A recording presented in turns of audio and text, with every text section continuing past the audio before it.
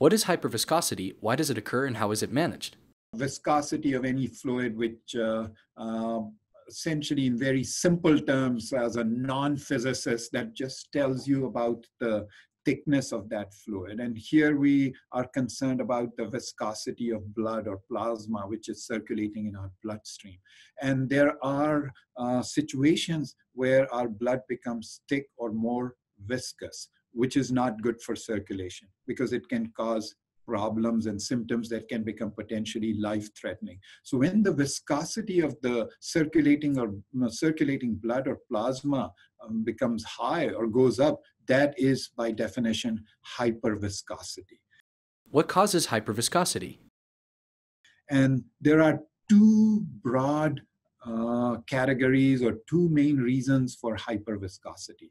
Either we have more blood cells, especially more red cells or white cells, or we have high amount of protein in the blood, especially larger protein elements. Uh, so from uh, myeloma perspective um, and from Waldenstrom's macroglobulinemia perspective, which is a related disease, uh, the high viscosity is caused by a high protein level in the blood.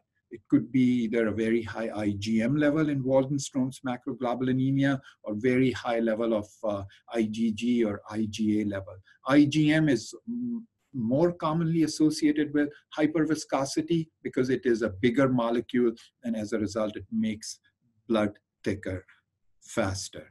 Uh, and why is hyperviscosity bad? Because it affects the circulation. Um, and patients have symptoms. So if patients develop hyperviscosity, they can notice symptoms that essentially point towards uh, uh, interference with the flow of blood.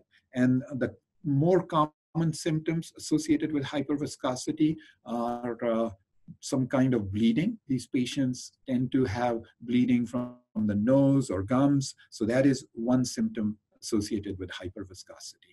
The second uh, symptom that is common with hyperviscosity, again, it's because of the flow of blood in the retina or eye, and these patients can have some visual blurring and floaters and uh, situations like that. So visual symptoms, with some bleeding. And then this can also cause neurologic symptoms. So patients may notice dizziness, uh, they may have uh, confusion, um, some patients may present with shortness of breath, and in extreme cases, it can even cause seizures and coma.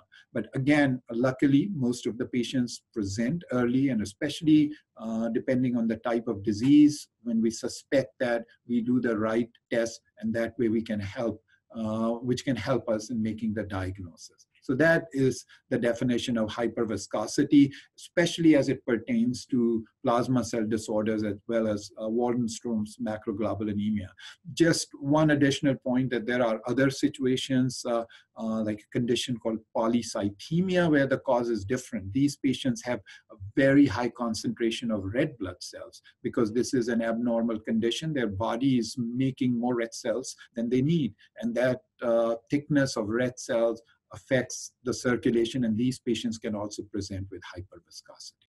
If you had hyperviscosity in your blood, once your myeloma gets treated and protein levels begin to drop, would it go back to normal?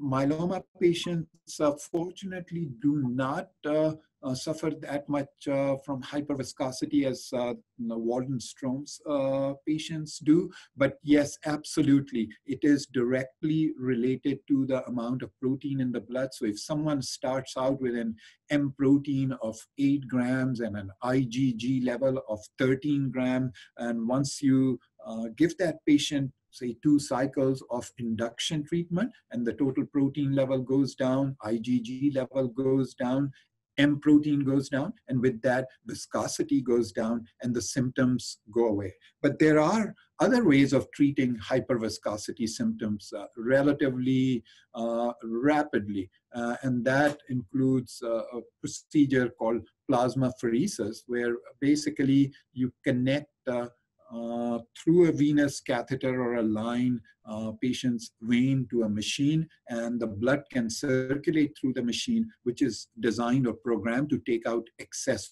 protein. So there one can relieve the symptoms right away within a few hours. You can remove the excess protein. But then this is not the definitive measure because the underlying cause, which is increased production of protein, persists. So that has to be treated with anti-myeloma or anti-Waldenstrom's treatment. But uh, a procedure like plasmapheresis or plasma exchange can rapidly lower the protein and help relieve the symptoms.